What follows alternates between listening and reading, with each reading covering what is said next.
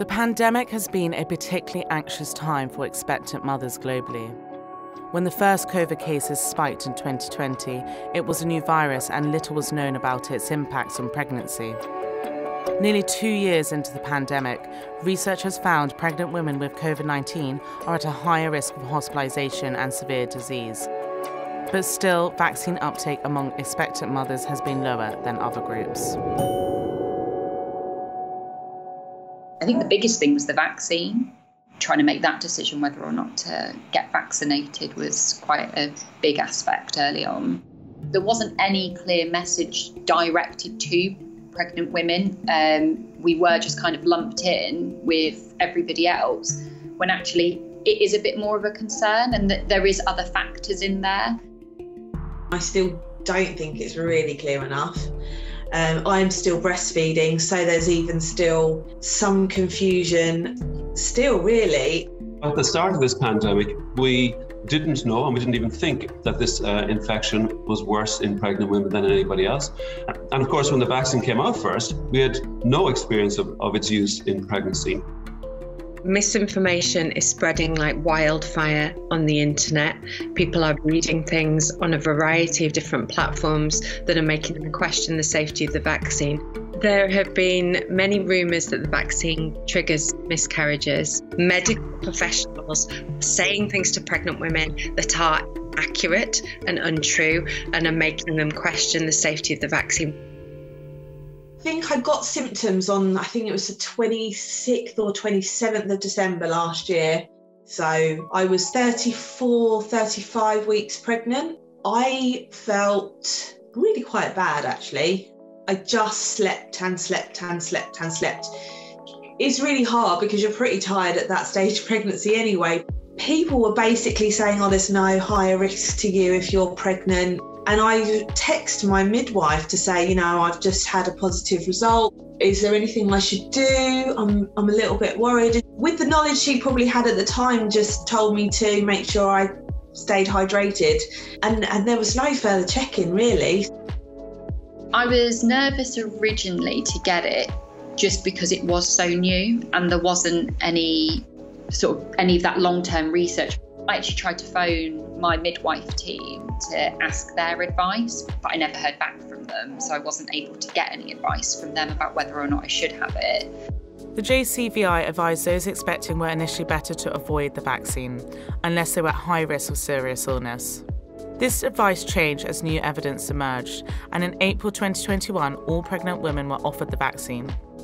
When the vaccine came out, we had really hoped that that would have been tested on pregnant women so that they could access it, but it wasn't. The drug companies didn't include pregnant women in the testing. There's been very little communication about how the vaccine works in pregnancy. That's really put pressure on pregnant women to make this really massive decision about whether they get vaccinated without the facts. I ended up getting it, made that decision, and then when I went in to get it, they asked so insistently, Are you happy to have it? Have you read this information? Were giving me pamphlets. I had to wait longer to see a doctor before they would actually give me the vaccine.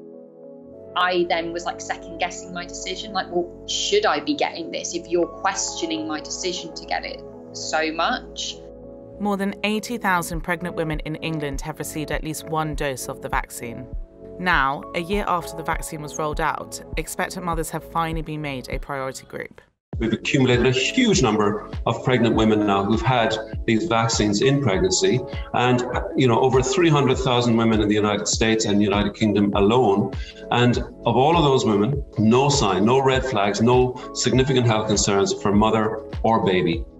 My main concern was if I have the vaccine and it makes me really poorly, how am I going to look after my baby? How am I going to feed my baby? I think I just weighed up that actually having the vaccine was the right thing for me. Um, but I don't think that there is enough information. For me, the potential risk of catching COVID while you're pregnant massively outweighs any slight risk that might come with having the vaccination.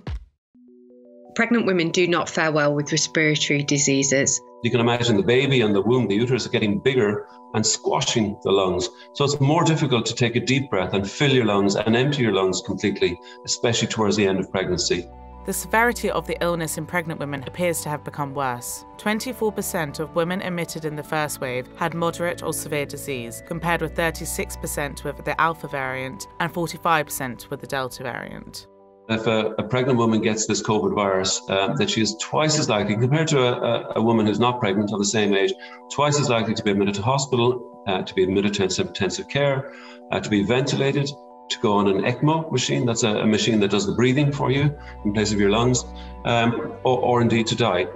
We know that 13 pregnant women lost their lives between July and September this year, and 85% of them were unvaccinated.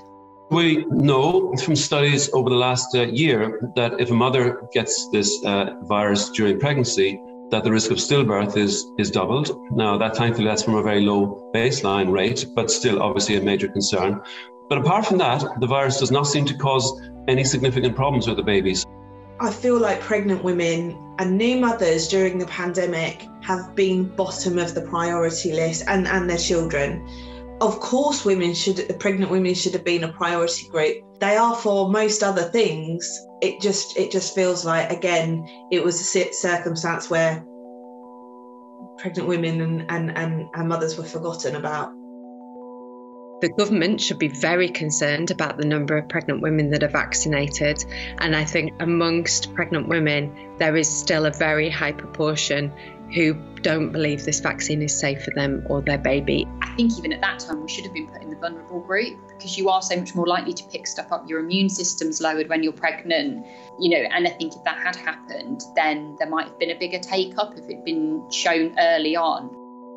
Targeted advice at pregnant people would have been the best thing. I think we just hadn't been thought about. So all the advice was so general for everybody, but actually you're in a very sort of unique position and there wasn't anything guided towards us at all.